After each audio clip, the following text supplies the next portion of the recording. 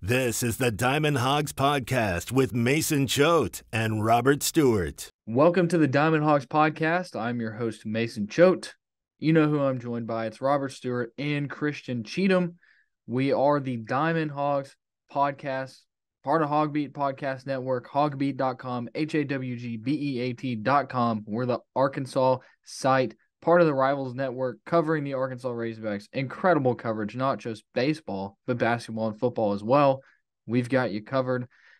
And we got a busy show today on the Diamond Hawgs podcast. We're going to have Arkansas third baseman Caleb Cali on the show. Cali. We're going to have Caleb Cali on. Excited to talk to him. Go ahead, Robert. I Where's he going? Huh? He's Tell us where he's going. Back, back to Cali, Cali. Uh, excited to talk to Caleb Cali. But before we do, um, there's some bad news that I'm sure everybody listening to this podcast knows by now. Koty Frank is done for the year, which is just unfortunate because just a couple episodes ago we were talking about how he's going to be our guy on the mound. Uh, didn't even have time to give him a nickname, and he's done for the year. Lat injury.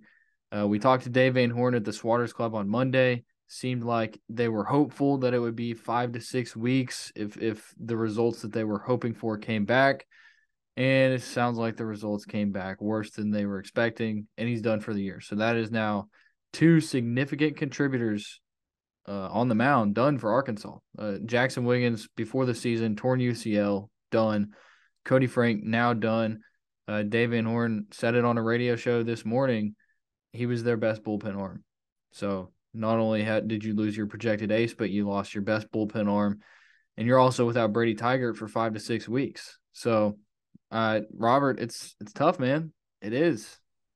Yeah, I mean, there's really no two ways about it. Um, you know, you never want to see one guy go down for the year, much less two. And you know, without Brady Tygart for the foreseeable future, like it, it's going to be a grind for for these guys to to figure out, you know, some sort of lineup coming out of the back end. Like I I don't even know where you go. Like it's you know, Christian will will attest to this, but uh, you know, it's encouraging to see Dylan Carter come on the way he has over the last week.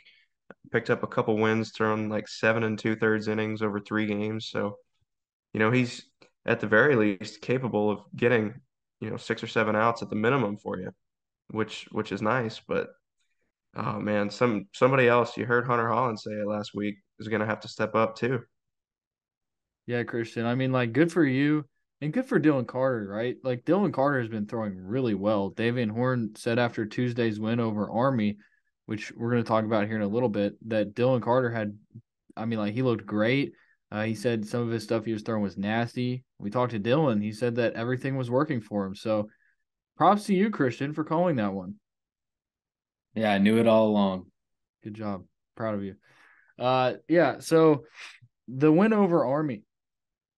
It I'm it's it's encouraging that you see this lineup. They're able to, you know, battle back, not, you know, get down in the dumps and they can get the big hits when they need them. You know, you think about the Jared Wagner, uh, what, 427 foot homer, something like that, just right to the batter's eye. It was incredible. I mean, the, the dude has insane power.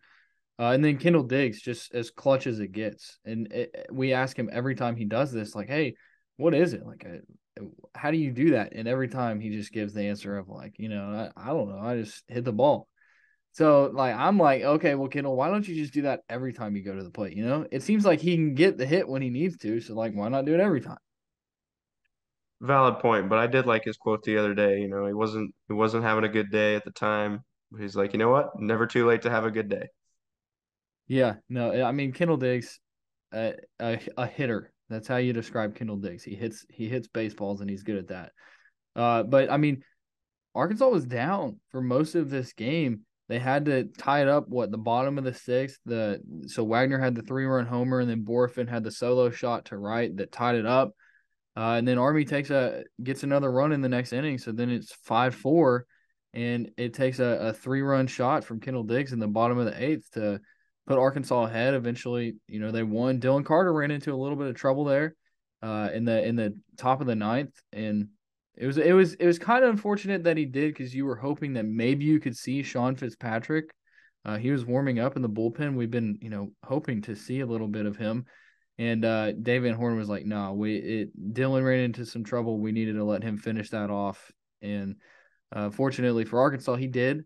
They beat Army, a good Army team. Army, these teams that Arkansas is playing are good teams. The, and the thing is, is like they've been playing quality competition, so their records might not look like they're good teams, but they're good teams.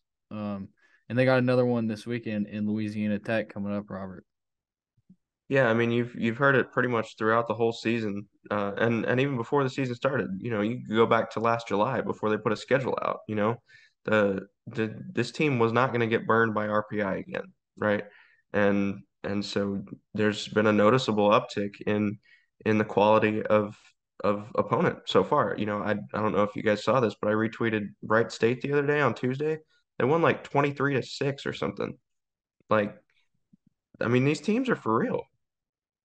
Yeah, no, they are. And it's it's good for Arkansas, especially, you know, with the newer like coming into the season, the big story was like you only had two returning guys in the starting lineup. So it's it's good for them to, you know, be not only be playing, you know, competition to, you know, get everything together, but they are also um, you know, meshing together against good competition. That's the thing. It's like it's not just competition, it's good competition.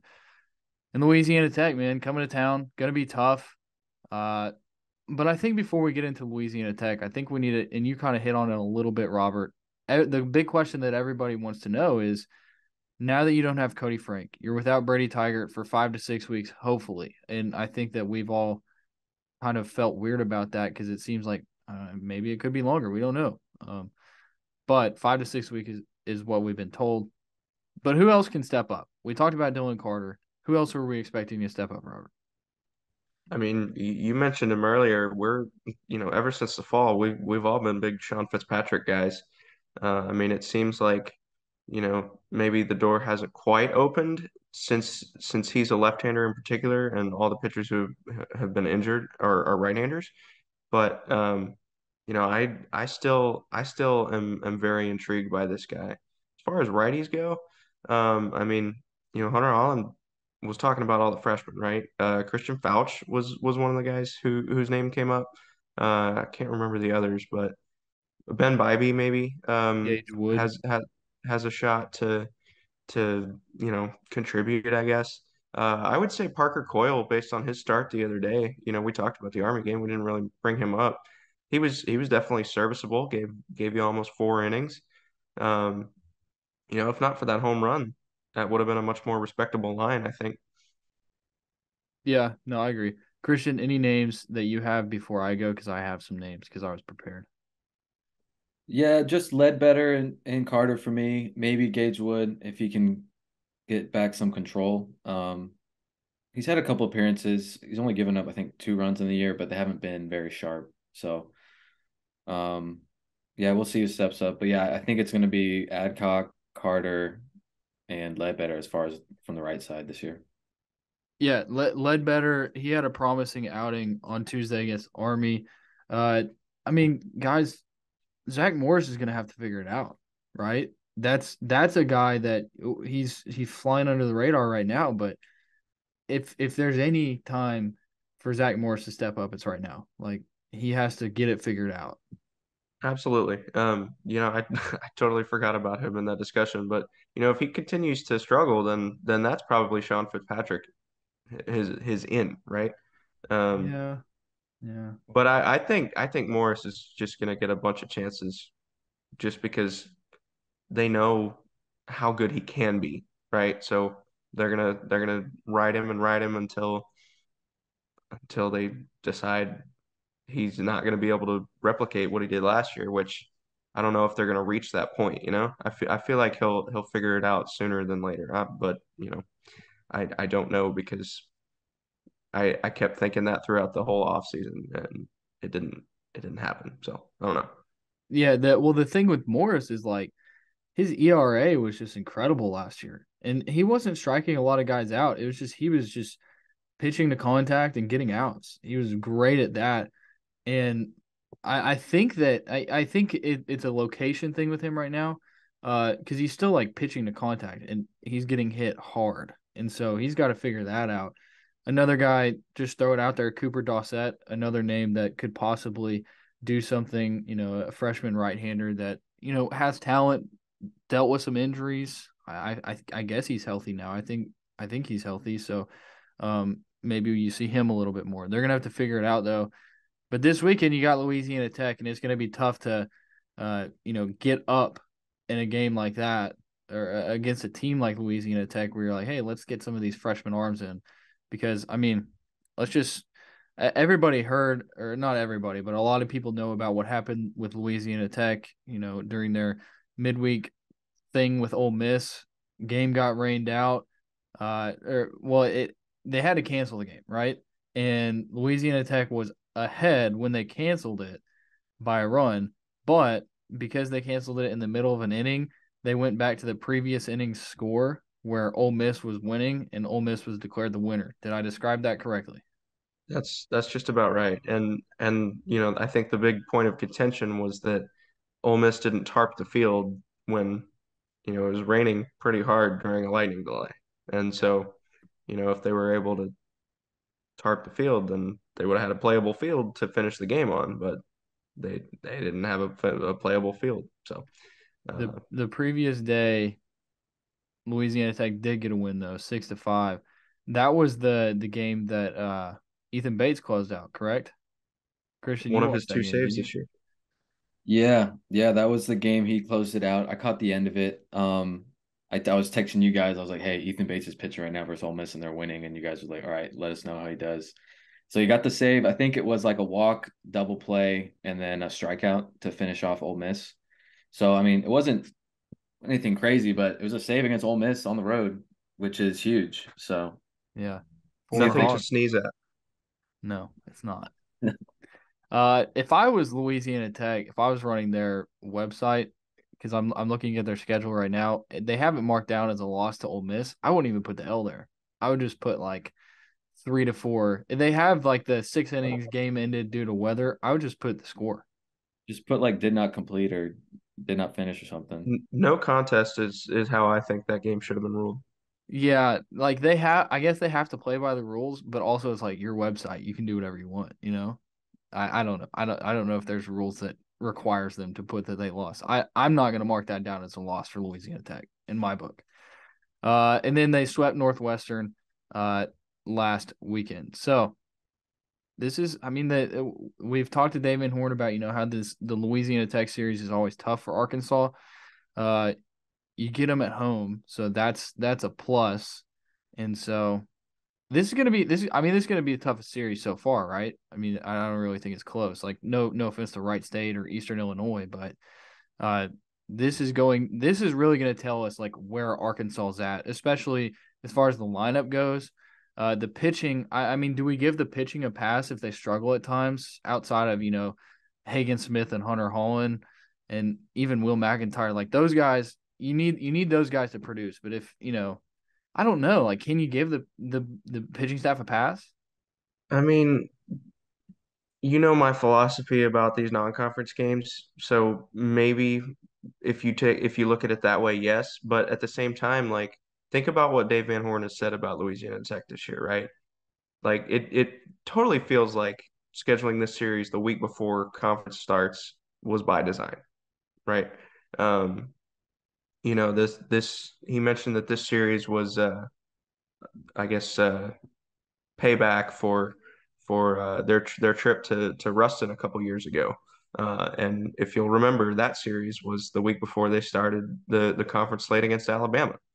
Um, I mean, I I think I think both coaches the this is this is the series that they want right before their league league play starts, and so I, I think you're gonna want uh, you know, pristine performances from from everybody to to to feel good going into, you know, what's going to be a gauntlet of an SEC schedule this year. I mean, yeah, you do, but they've been dealt an awful hand, man. Like the the the it's just tough. You you lose your projected ace, then you lose your best bullpen guy, and you've also lost your closer for five to six weeks, is what we know. Uh, you mentioned the the Louisiana Tech series ahead of the Alabama series. I guess that was 2021, right? Um, you just hope that the first game uh, against Auburn doesn't go the way that that first game against Alabama went, because that would be awful. Didn't Arkansas Well- lose like sixteen to one? Yeah, some horrible like that, but they won the series, so They won the series. I'm just saying, like, you don't want the first game to go that way. That wouldn't be good. Um. Okay. Before we Let's- get too far from that, there there was a quote. I listened to Lane Burroughs yesterday. Uh, somebody somebody asked about the injuries, and he said, "I expect nothing but a normal Arkansas team." So, you know, the the the quality of opponent, the, they're they're not changing anything based on, you know, the hand that Arkansas got dealt, as as you put it. No, I mean they shouldn't, and nor nor should Arkansas. You know, like pity themselves or whatever, like feel bad for themselves. Right. Nope. And no one else is gonna feel bad for them either. Like Exactly. No, that it, it reminds me of what Eric Musselman said on uh, I, I guess it was Tuesday. He was talking to the media, or no, that was after the Kentucky game. He said he he said that uh, nobody feels bad for them for the injuries that they had, and he sure as heck isn't going to feel bad for anybody else who has injuries. So. Um, that's not word for word. And that's just along the same line. So it, I think that applies to this situation as well. Uh, okay, Robert, you want to get into the projected starting pitchers because you are the research guy. Yeah, let's do that. Um, so the Sunday the Sunday spot is a bit of a question mark, but it seems more defined than uh, I guess the last two series. So there is that. Uh, we'll we'll just go ahead and start off on Friday. They've got a redshirt senior going. He's a lefty named Jonathan Fincher. He's got a 2.84 ERA, one point whip even. Opponents are hitting 225 against him, and he's thrown 19 innings. So, um, you know that's uh, that's in three starts thus far. I think he has an appearance uh, as in in addition to those three starts, but uh, gonna have to hit a southpaw in in the opener. So I don't know. Let's see. We expect to see Hudson Polk maybe in the first game, just because you know. I guess this is a conversation for later. We'll go ahead and finish the scouting report, but uh, he he is the right-handed bat of you know. Not that Rowland can't hit uh, right-handed, but I, I know that I know that Dave likes to talk about Rowland hitting against right-handed pitchers because he can swing left-handed. So uh, something to consider there. Maybe we don't see Kendall Diggs on on Friday. I think that would be a foolish decision decision, but I I did notice that that he didn't start against a lefty last week. Um, anyway, moving on. Sophomore righty named Raleigh Hector will will go on Saturday. He's got a 4.4 ERA, whips much higher, closer to two. Opponents hitting better than 300 against him, and he's only thrown 14 and a third innings. So um, the numbers don't really jump out at you. I I would say that Saturday presents a, a good opportunity for the Razorbacks to run up the score, especially if uh, Friday doesn't go well against the Ace. So uh, keep an eye on that one. And then Reed Smith, he's a junior righty, is the expected Sunday guy. Uh, Lane Burroughs was talking about it. I believe, uh, May- Mason, maybe you can check the box score for me right now, but I believe on Sunday he only went a third of an inning. Uh, he was dealing with some finger swelling. I don't know, you know, how much that had to do with uh, with his poor stats that day, but uh, on the year he's got a 6.75 ERA. Whips are right around 1.3. Opponents hitting better than 250 against him, and he's only thrown nine and a third innings. So, um, not quite sure what to make of this guy. Uh, he's expected to be fine and ready to go for for this Sunday contest against Arkansas, uh, but we shall see. Yeah, the box score for Sunday shows Smith threw a third of an inning, gave up four earned on four hits, and his one out was a strikeout. So he get he had a strikeout, and then the other four batters that he faced, he gave up hits, and he gave up four runs on those hits. So not ideal. So, yeah, we'll see. We'll see how much uh, that that finger swelling uh, was was problematic for him. Um, I guess right now we can go ahead and transition into relievers. Uh, there were there were two that I wanted to highlight. The first of which is senior righty Landon Tompkins, rocking a sub one ERA, a sub one WHIP. Opponents not even hitting 200 against him, and he's logged 12 and two thirds innings. So, um, I would say if any of those starters fail, they can turn to him, and he should be able to eat up some innings for them very effectively. And then the other guy, you know, we got to mention Ethan Bates. We talked about him a little bit earlier. He's got a couple saves on the year, has not given up an earned run. Uh, he's got a .67 whip. Opponents hitting 105 against him in six innings. So, um, you know, hopefully it doesn't get to get to a situation for Arkansas where they got to face the closer because it's Ethan Bates right now, and Ethan Bates has got it going right now. Yeah, no, Ethan Bates definitely a, a good story. Like you're you're happy for the guy that he's having success after leaving Arkansas. Went the JUCO route. Now he's at Law Tech and doing great. He's also so he's the, he's the reliever, but he's also hitting over 300. Right? I mean, he's he's he, he's a two way player and he's really good. It's one of those situations where you know it's good for him. You're happy for the guy, and it, he's probably more suited to the level that he's playing on but you look at it and you're like, man, that's one of those guys that you didn't want to let get away. And I, I think we kind of felt that way, right? When when he left was like, this is a guy that you probably didn't want that to happen, but it did. Uh, along the same lines, and I, I just want to throw this out there because it, it came to my head. So you know, like we know how what the catcher situation is like for Arkansas right now. It's it's unfortunate, not unfortunate, but it hasn't been what it has been in years past, you know, where you have a solid everyday guy that is very reliable. Um, and this is no offense to Hudson Polk and Parker Rowland because I think it's by design that they're going to split time. It's just neither one of them has really, you know, you know, shown that they're the guy, you know. And you look at it, and Arkansas has there's two catchers that transferred out of Arkansas that have been starters in the SEC, and Dylan Leach and Dominic Tamez at Alabama. So it's like, man, that stinks. Uh, Dave Van Horn did mention Dylan Leach at the Swatters Club on Monday, though.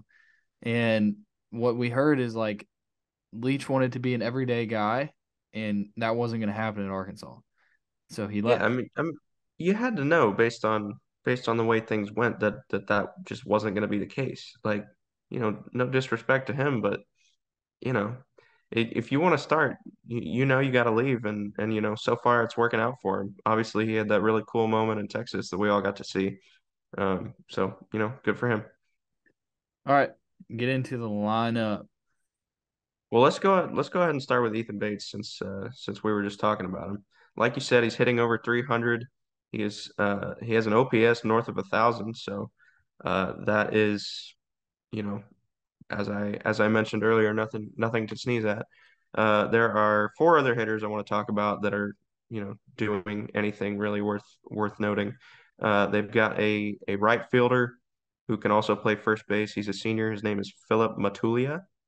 Hope that's right. Uh, he's only hitting 286. Normally, I like to pick out the guys who uh, are hitting 300 or better, but this guy has an OPS above 1100. He's got a team leading six home runs and 16 RBIs. So this guy is uh, someone to watch out for from a power perspective. Uh, his OBP is only 340, but he is slugging 761. So um, he's he's not the kind of guy that you necessarily need to uh, pitch around. I, I, think I saw on the on the stat sheet he's only only been walked twice to 14 strikeouts this year. So uh, he's uh he's one of those you know Caleb Cali type guys where he he could he could lead the team in in OPS and strikeouts. I, I think that that was the the thing that I mentioned um, several weeks ago. Anyway, uh, moving on. Dalton Davis, he's a first baseman, plays a little second base as well. 319 uh, average, 418 OBP, slugging 489. Noteworthy. Uh, Adarius Myers, guy plays left field for him, hitting 353, uh, OBP of 477.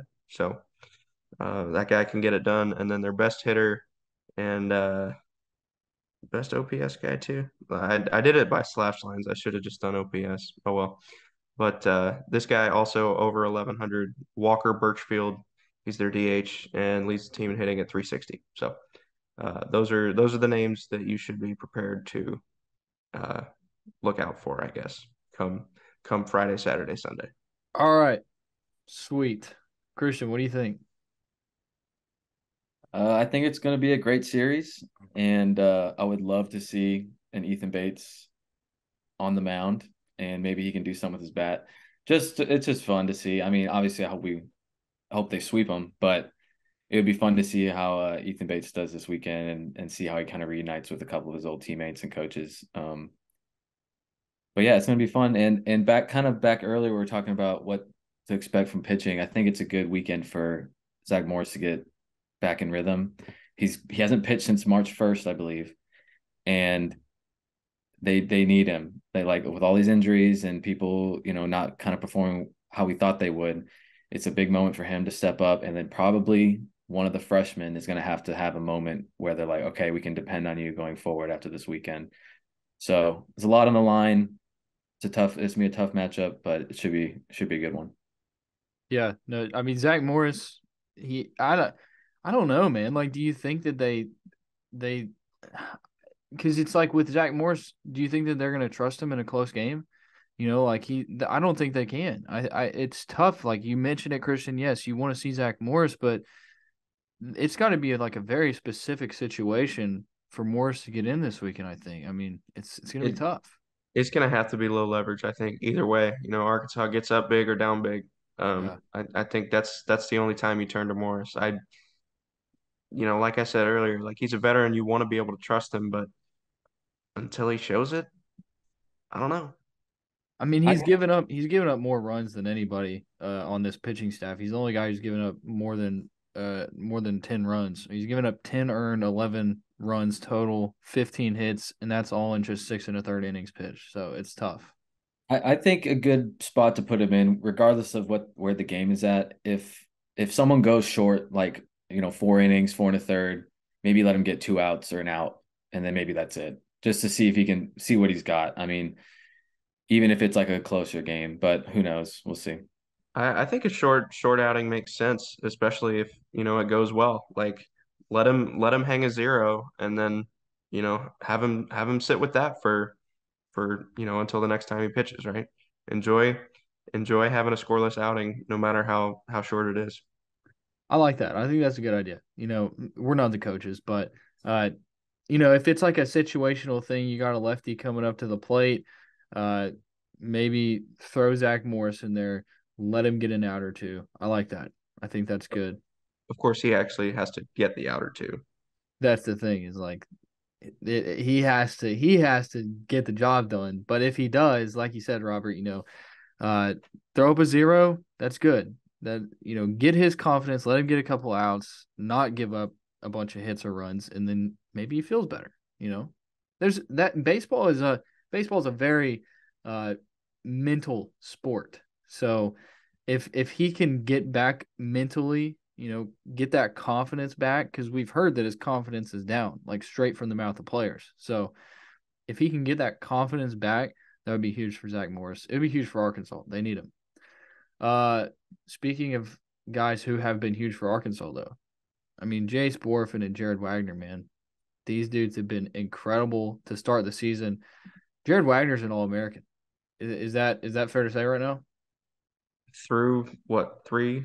How many how many weeks has it been? Three and a half weeks? Yeah. Uh, uh, it it's really looking that way. I mean, he's driven in more than 20 runs already, right? Uh, I have it pulled up. He's uh, he has 22 RBI. Yeah. That's that's what I thought. The home homer the other day pushed him over the, over that that mark. Uh, yeah, I mean, it's it's remarkable. And and how about I mean, raise your hand if you had Jace Bohrofen leading the team in the average right now. I didn't have him leading the team in average. It's it's nice to see like you know everybody always talks about that that injury where he ran into the wall and jammed his shoulder or whatever. It's nice to see that he's finally uh, gotten over that hedge and and shown everybody what he can really do. Because man, it's kind of long overdue. So I'm I'm looking at the the SEC stat leaders. Uh, Charlie Condon from Georgia, he's got 29 RBI, so that leads the conference. Uh, and then let's see, Ethan Groff from Missouri, he's got 24. Jack Caglianone, is that how you say it?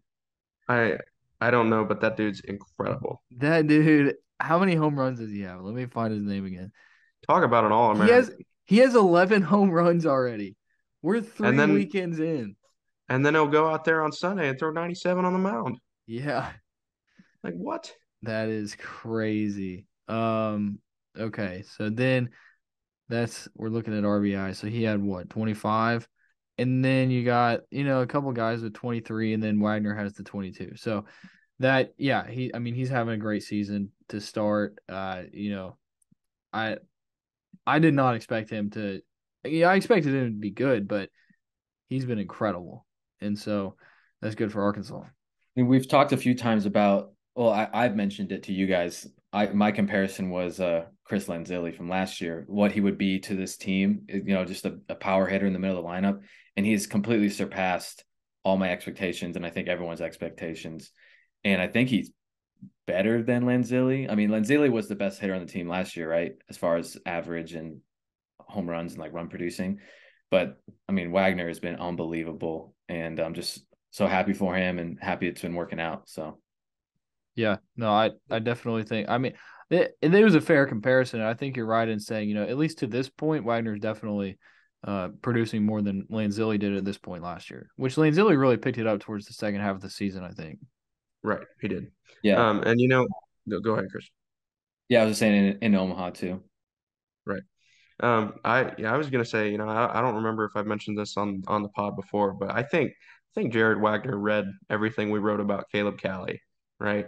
We we we gave uh we gave Cali a lot of hype based on what we saw in the fall. Wagner was just sort of, you know, it's not like he was doing badly at all. Like he was he was just sort of he was just sort of there, consistent uh consistent on base guy and and now he's just raking. I, I think uh, I think he he wanted to he wanted to silence all the yeah, maybe we weren't doubters because we weren't actively doubting him, but we we weren't giving him the same hype that uh, that that Caleb Cali got. I think the thing with him is that he kind of flew under the radar, and I wrote this uh, uh on a few occasions. He committed to Arkansas while they were still playing. They were still playing in the postseason, and that's when he announced he was transferring to Arkansas. And so his name really flew under the radar, even through fall ball, right? We were talking a lot about other guys in fall ball. I mean, like Reese Robinette was the story of fall ball. Uh, and then, you know, that's, and he just flew under the radar. And I, I think that some of that has to do with when he committed. Some of it has to do with, you know, people didn't really uh, think much of him because they were like, all right, he's just going to be in the outfield, you know they were focusing on the the positions where there were battles like third base, shortstop, catcher, stuff like that. You know. He he did miss a good chunk of fall ball with uh, an oblique injury too, so that that may have that. something to do with it. Yeah. But uh, also, how about at the Squatters Club the other day? Dave mentioned, uh, you know, you you you talked about how he committed while Arkansas was still playing in 2022. Dave mentioned like three weeks ago he learned that his name was pronounced Wagner. So yeah, no no shame on the fans at all or or the media for not knowing that when his head coach didn't even know it until I don't know had how many months had, had they known each other at that point? Like eight? Yeah, at least something like that. And then we asked players like after the press conferences last week uh when did you learn that it was Wagner? And every single one of them I think said today Hagen Hagen in particular was like today yeah, and it's like, what the heck? Like, why did he just not tell them? You know, I mean, it makes sense though. Like, it's it, it's Wagner. You know, like that's that's what it should be. It's not my name though. You know, um, Christian, that's hilarious. that's hilarious though. Who who actually found out? Did like he finally admit it, or did someone ask him? I I think it came up on on Phil and Bubba's podcast, and then uh and then you know it, it was the the Illinois State game. He he walked did he walk? No, that was that was Kendall Diggs. Um, but I, I think he he was made available after the Illinois State game, and I was like, Jared, I have to know what's what's going on with your last name, man. Yeah, no, that's crazy. That's that that's been the storyline of like the past. Well, uh, aside from pitcher injuries, Jared Wagner has been the storyline of like the first three weekends. So Arkansas plays Louisiana Tech this weekend. Three game series starting Friday at 3 p.m. Saturday at 2, Sunday at 1, all of those central time. Reminder Friday's game will not be televised, so go to hawgbeat.com for all of the coverage that you need for that game. It will not be on television.